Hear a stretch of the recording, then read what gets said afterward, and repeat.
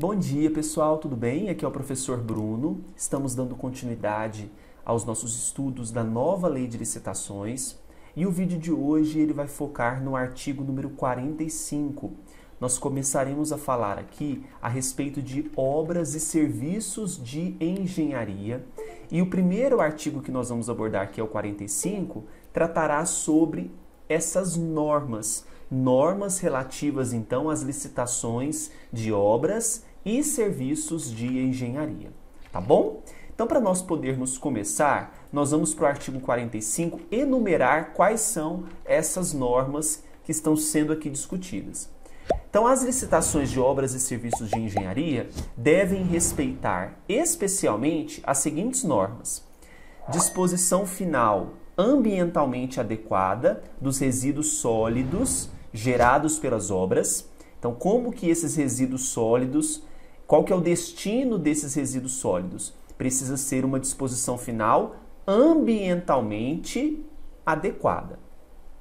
Segundo, mitigação por condicionantes e compensação ambiental que serão definidas no procedimento de licenciamento ambiental. Veja que o foco muito importante aqui é a proteção ao meio ambiente e os impactos a esse meio ambiente. Utilização de produtos, equipamentos e de serviços que comprovadamente favoreçam a redução do consumo de energia e de recursos naturais. Olha só a questão sustentável envolvendo nessas licitações. Interessante, não é?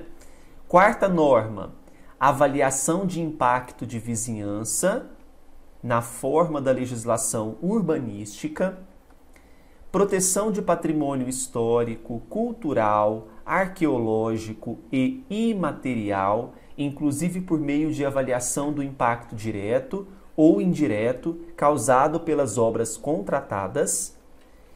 E sexto, acessibilidade para pessoas com deficiência ou com mobilidade reduzida, objetivando então o preenchimento de requisitos da Lei 13.146 de 2015. Então, são essas normas que precisarão ser obedecidas, observadas nas licitações de obras e serviços de engenharia. Muito tranquilo esse artigo, não é mesmo? Então, pessoal, se você gostou do vídeo de hoje, dê o seu joinha, se inscreva no canal e me siga no Instagram, arroba Até o próximo vídeo. Tchau, tchau.